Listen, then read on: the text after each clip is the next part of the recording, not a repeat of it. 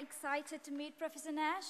Please stand and join me in giving a round of applause to welcome Professor Nash, Professor Tong, the President of PolyU, and Mr. Huang, the President of HKFYG.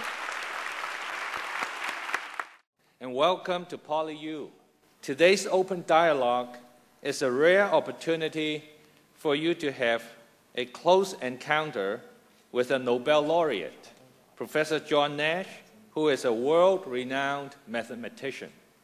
On behalf of the Hong Kong Federation of Youth Groups, I have great pleasure to welcome all of you to this very, very meaningful event because we are going to have a very special open dialogue with our most distinguished guest, Professor Nash. Would you always be thinking about, you know, very concentrated on what you're working on? No, I have a lot of, a lot of times when I could not be described as working, actually, okay. intellectually working. First of all, there's all the time spent sleeping. well, we do a lot of that too. well, I think the hot topic right now is to do with the financial crisis. And all of us have heard from the media that there are different ways different governments, different people have suggested to weather the storm. Equilibrium of, of work and employment and was returned sooner or later, but you don't know how long. Maybe the, the, uh, the psychology of optimism or pessimism will affect decisions made by bankers or others who can decide whether to lay off employees or bring uh, employ, hire more employees, and they may make these decisions on a psychological basis. I know that you have met with Albert Einstein before. Of course, when I, I met with Einstein, it was, it was an interview that I had requested. He's old enough to be my grandfather. wow.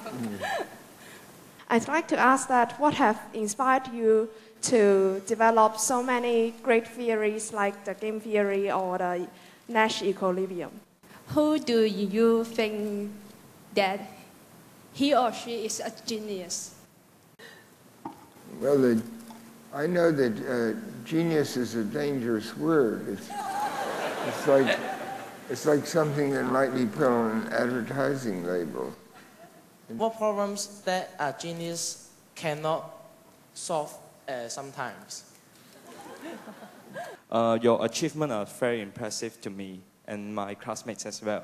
Uh, we are interested to know that uh, what makes you see your potential in being a mathematician when you were young?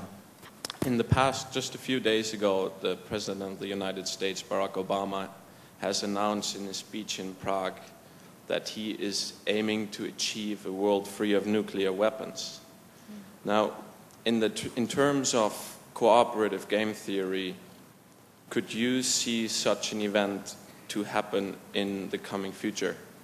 But I think about it, I, I wonder, um,